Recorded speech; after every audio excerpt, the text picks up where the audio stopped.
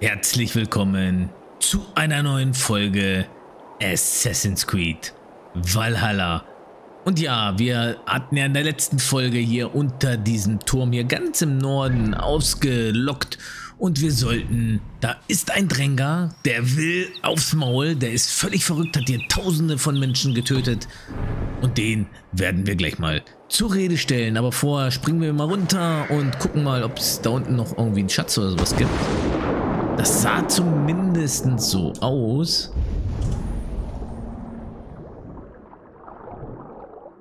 Aber ja, aber nein, ist es nicht.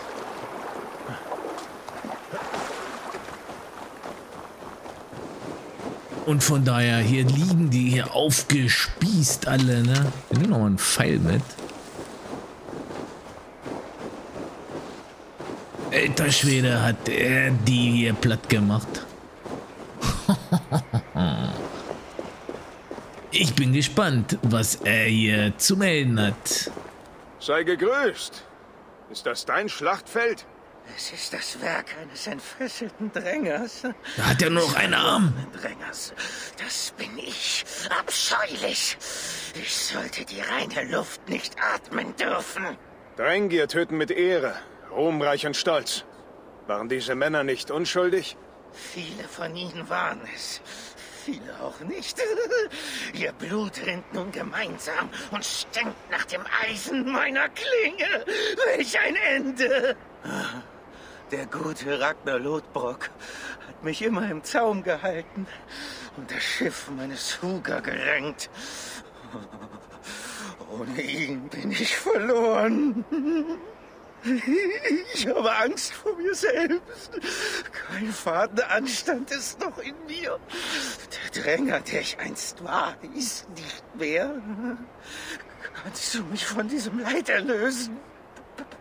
Bitte! Dein Leben ist erfüllt von einem Schmerz, den kein Wehrgeld und keine Buße befrieden kann. Ja, du kennst meinen Schmerz. Und du siehst aus, als könntest du ihm ein Ende setzen. Bitte tu diesem unwürdigen Wesen einen letzten Gefallen. Na klar, schicken wir ihn zu Ragnar nach Valhalla. Verlorener Dränger, ich kämpfe und helfe dir wiederzufinden, was Ragnar dir gab. Kinder Lokis, nehmt mich zu euch. Eine Arme kämpft so listenreich wie zwei. Die Wacht! Oh, den haben wir schon geblockt.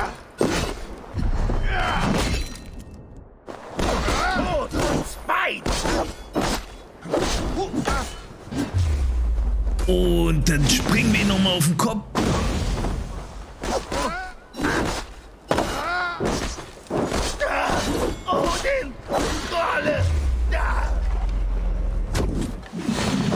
Alter Schwede, da hat der auch nochmal so einen Sprung drauf.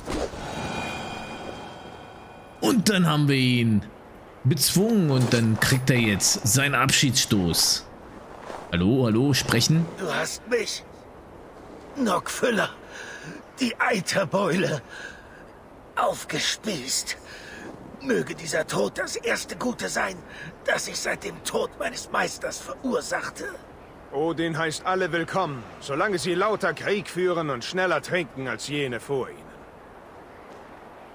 Und dann liegt er im Staub und wir können den Tod bestätigen.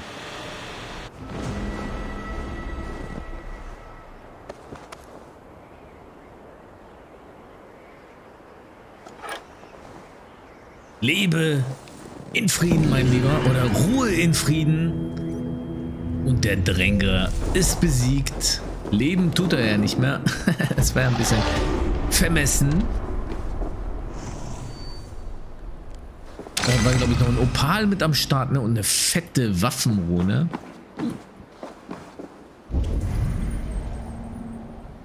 Gibt's hier noch irgendwas? Können ja mal hier hochgucken.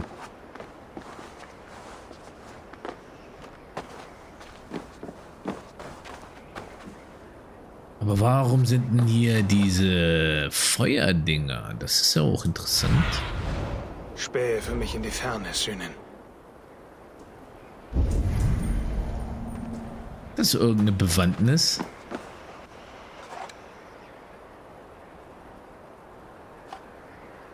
Hm. Können ja mal gucken, ne? Wenn ich so ein Ding hier mal anfackle.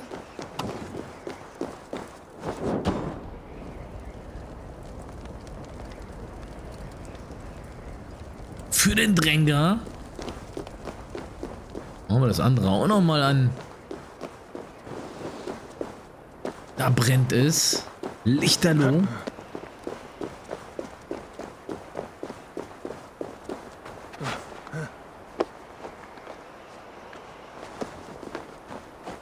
Auf, Ragnar.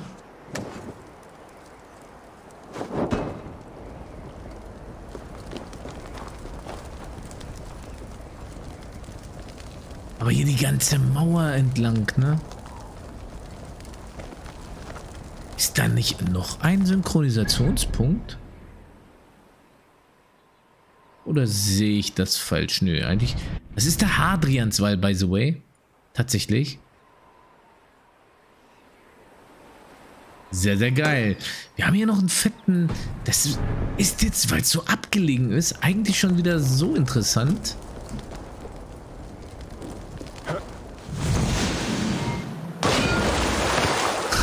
Immer ins Wasser.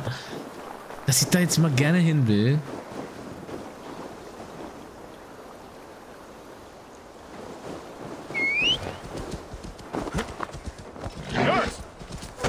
gucke ich mir auf jeden Fall nochmal an die, ähm,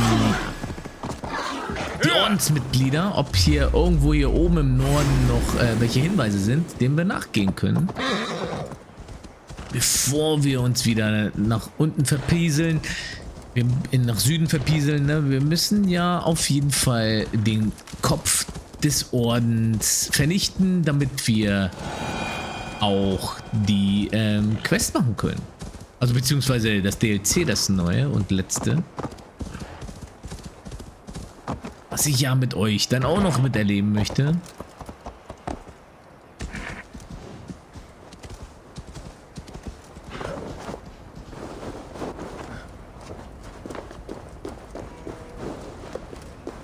Vero zu Vincum. Schauen wir doch mal was es hier zu snacken gibt. Okay, da leuchtet was. Oh ja, die Pfeile nehmen wir mit. Noch mehr Pfeile. Nicht, dass ich wieder out of Pfeile bin, ne? Oh, das ist ja aber auch verschneit ohne Ende. Okay, da ist nix. Ne, das muss ja hier drin sein. Jetzt ist die Frage, wie so oft, wie kommen wir da rein? Vielleicht können wir auch hier irgendwo was durchschießen.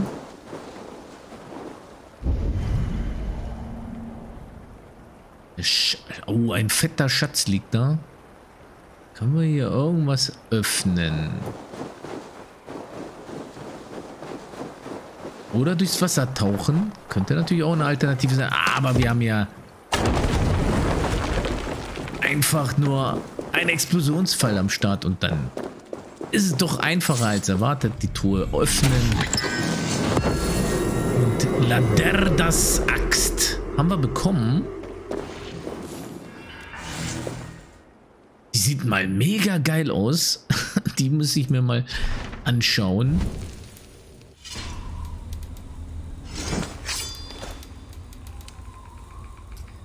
Das ist eine zweihändige Dänenaxt makellos. Kritischer Schaden wird erhöht, wenn du von drei oder mehr Gegnern umgeben bist.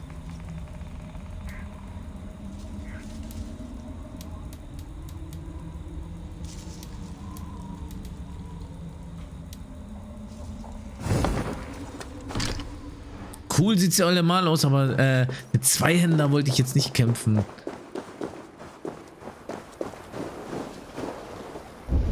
Weil die doch so ein bisschen langsam sind, finde ich.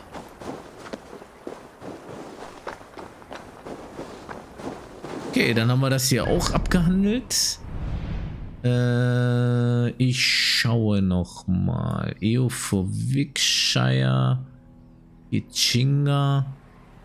Genau. Wir gucken jetzt noch mal in Orden. Äh, Lincolnshire. Oxenafordshire. Auch. Glowekester. Römische Ruinen statt Legrekester. Das ist ja alles weiter im Süden. Ne? Und hier, die haben wir ja mal gar nicht. Es wird interessant. Gucken wir mal auf die Mappe. Oxener vor Glowekester. Ne, Nottingham, Shire haben wir gar nichts. Oxenerford ist ja hier. East Sechse. Legrekester ist auch hier. Lincolnshire ist hier. Ist nochmal Glowekester-Shire. Granterburg.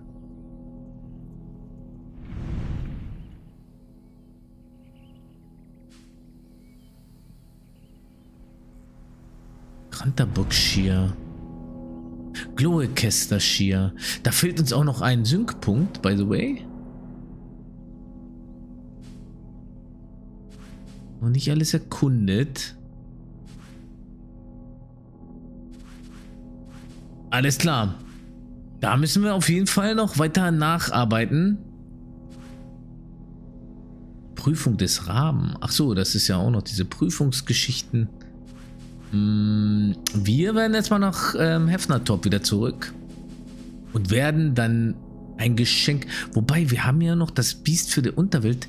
Teil 1 der Legende von Beowulf. Gerüchten zufolge verstümmelt ein Ungeheuervieh in East Engler äh, dies könnte eine Gelegenheit sein, Ruhm für unser Rabenbanner zu erringen. Meine Güte. Finde Wulfhilda und sprich mit ihr. Ach komm her, wir machen das. Und dann geht es nochmal ins Mystische. Ne? Ich denke mal, da wird es noch einmal nach Asgard gehen.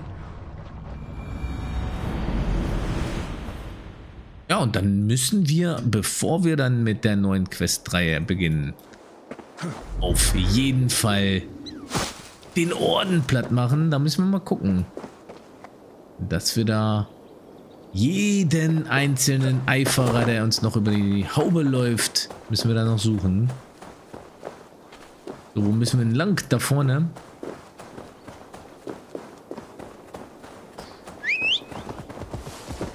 Gucken wir mal, wo Wulfilda ist.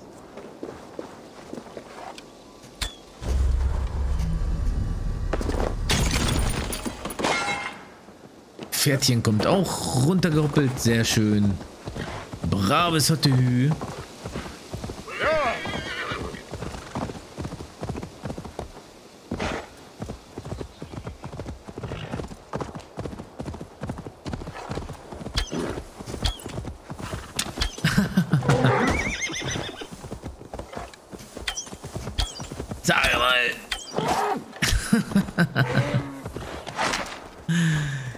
Ich verballer hier die ganzen Pfeile.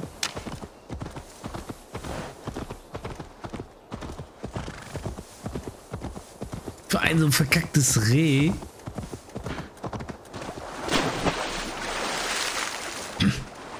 Finde Wulfilda und sprich mit ihr. Sie ist in einem kleinen Dorf nahe, dem Brisela-Gehöft.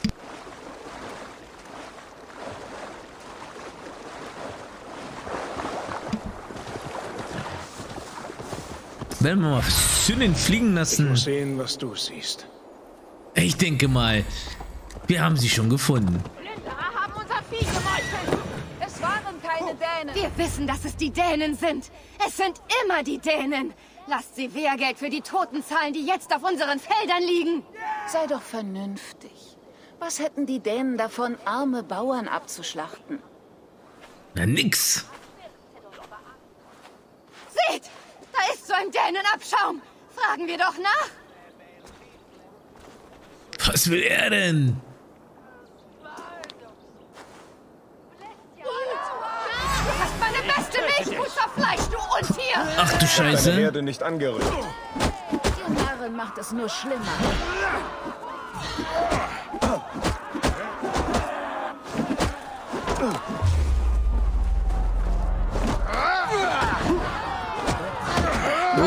Mal K.O., der zweite auch. Die alte, die kriegt auch gleich mal einen, oder? Die, die, die kaufen wir uns zum Schluss.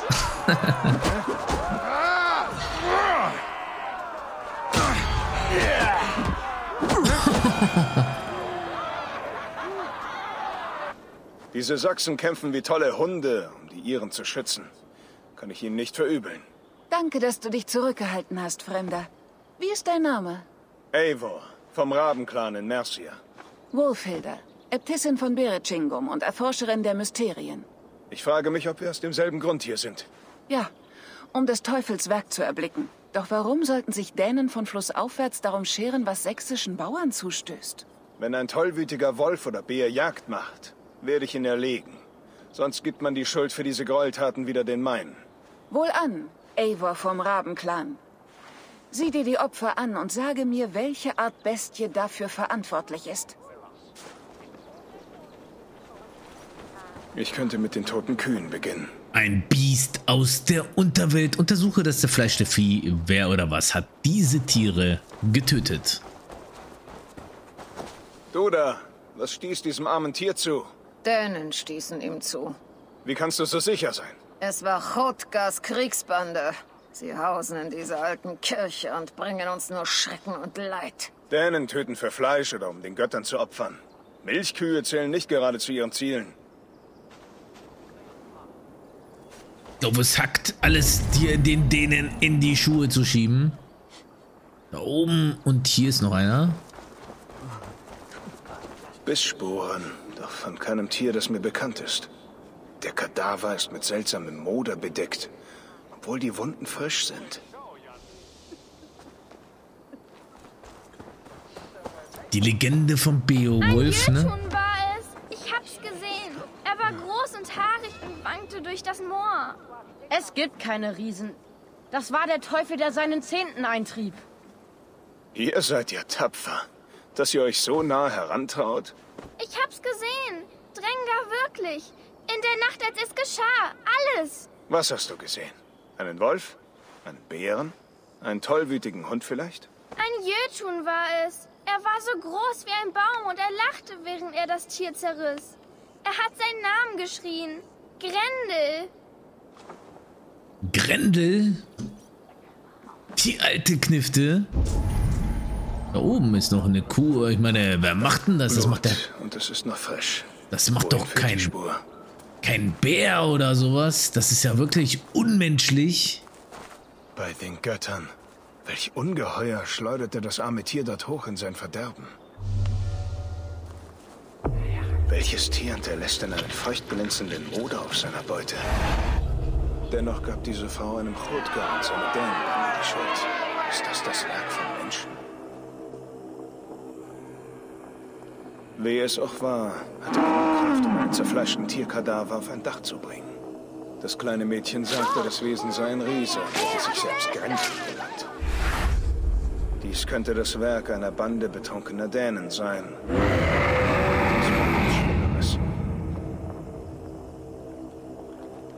Ich sollte diese Hinweise mit Wolfhilder besprechen. Oh Mann, ich glaube, das war so ein Riesenvieh, was uns dann mal richtig mächtig in den Arsch treten wird. Aber hatte ich hier nicht noch was gesehen? Ja, da unten, ne? Muss doch irgendwo ein Schätzlein sein. Tragen wir mal das Ding hier weg. Weg mit der Kiste und weggeschoben. Ist nicht aufgehoben. Und schon haben wir die Truhe und wir kriegen noch mal eine kleine Waffenruhe der Vergiftung.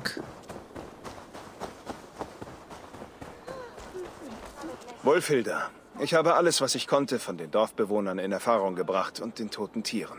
Und wie liest du dieses Mysterium? Glaubst du immer noch, es wäre ein Wolf oder Bär? Es ist nicht das Werk eines Waldtieres. Die Bissspuren, der Moder. Sehr seltsam. Dann siehst du es auch als Werk des Teufels. Oder ist einer eurer Holzdrachen zum Leben erwacht? Ein paar zerfleischte Tiere beweisen weder Teufel noch Drachen. Es muss ein Mensch sein oder mehrere. Das Mädchen erwähnte einen Grendel. Nein, keine sterbliche Hand könnte Fleisch auf diese Art zerreißen. Das erkennst du sicher auch. Ich sah, was Menschenhände anrichten können. Blutiger als das hier. Und diese Menschen durchstreifen die Nacht und töten dabei das Vieh. Ich gebe zu, das kann ich nicht erklären. Dreimal fanden diese Angriffe statt. Jedes Mal Bissspuren, gebrochene Knochen und dieser seltsame Moder. Etwas Böses geht in Erstengler um. Einige Tiere wurden in den Wäldern im Nordosten angegriffen. Gehen wir. Hier entlang. Oh, sie will mitkommen. Na, die ist ja mutig. Nochmal zwei Fertigkeitenpunkte dazu bekommen. Beute in hoher sollte da oben in Halle. den Bäumen sein. Kannst du es riechen? Es stinkt nach Tod und dem Bösen. Ja, den Geruch kenne ich nur zu gut. Kadaver und Tod. Der Geruch von Loki.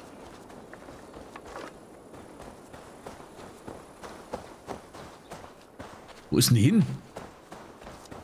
Bleibt sie einfach stehen, die Alte.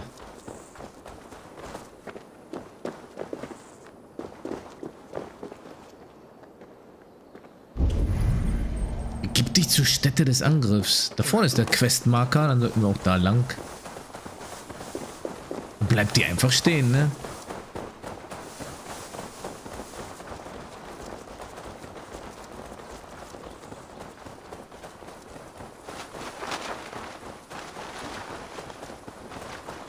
Oha. Da geht's ab.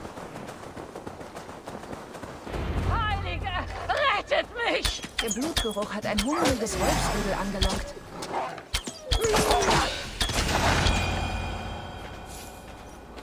Alles erledigt.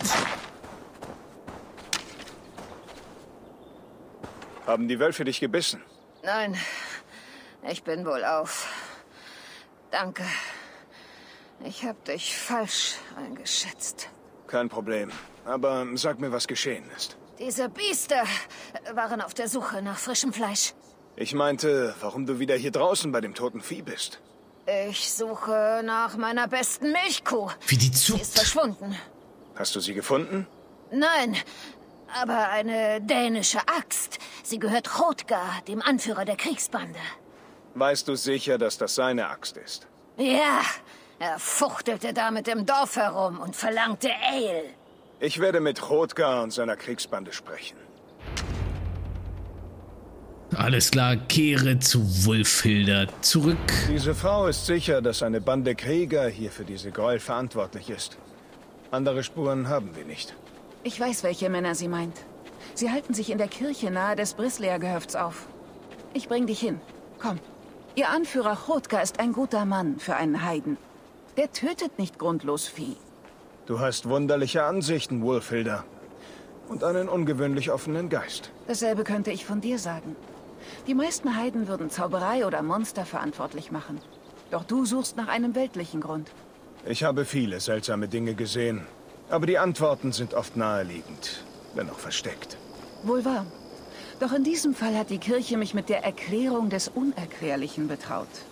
Das führt manchmal zu unchristlichen Gedanken. Und deine Kirche nimmt diese unchristlichen Gedanken hin? Sie dulden sie. Luzifer ist ein Täuscher und Gottes Wege sind unergründlich. Also muss auch ich allen Möglichkeiten offen gegenüberstehen. Ob weltlich oder anderweltlich.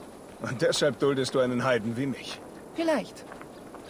Oder aber wir alle, Heiden und Christen, befinden uns im Angesicht eines größeren Mysteriums.